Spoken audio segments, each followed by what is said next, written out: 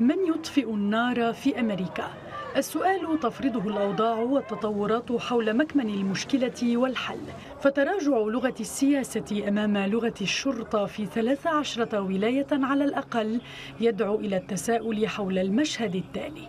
التظاهرات اتسعت لتشمل كل الاتجاهات والأعراق وليس فقط الأمريكيين الأفارقة.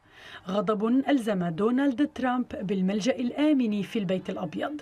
وضع كفيل بأن يصب الزيت على النار كما رأى البعض في تغريدات ترامب ولا سيما تلك المتعلقة بإشادته بتعامل الحرس الوطني مع التظاهرات في مينيسوتا وبدعوته لإطلاق النار إذا بدأت أعمال النهب. الواضح أن الاحتجاجات تتصاعد ولم تعد تستهدف العنصرية بل المنظومة التي يمثلها ترامب برمتها.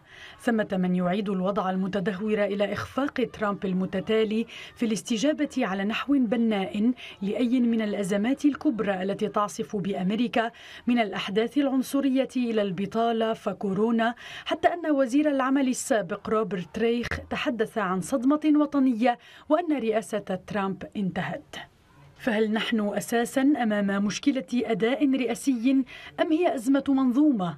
الإعلام الأمريكي غير الصديق بمجمله لترامب عمد إلى التعتيم الواضح على الاحتجاجات السلمية مركزا على أعمال التخريب والشغب. فهل عاد هذا الإعلام إلى الانضواء ضمن المنظومة؟ ما إن لمس أن الخطر بات كبيرا؟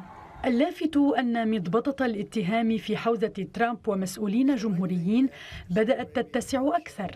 اتهام منظمة أنتيفا اليسارية المناهضة للفاشية بالوقوف وراء أعمال العنف إلى من سماهم روبرت أوبرين أعداء أمريكا في الخارج الذين يزرعون الفتنة بين الأمريكيين مسميا الصين وروسيا وإيران بين محرض ومستفيد.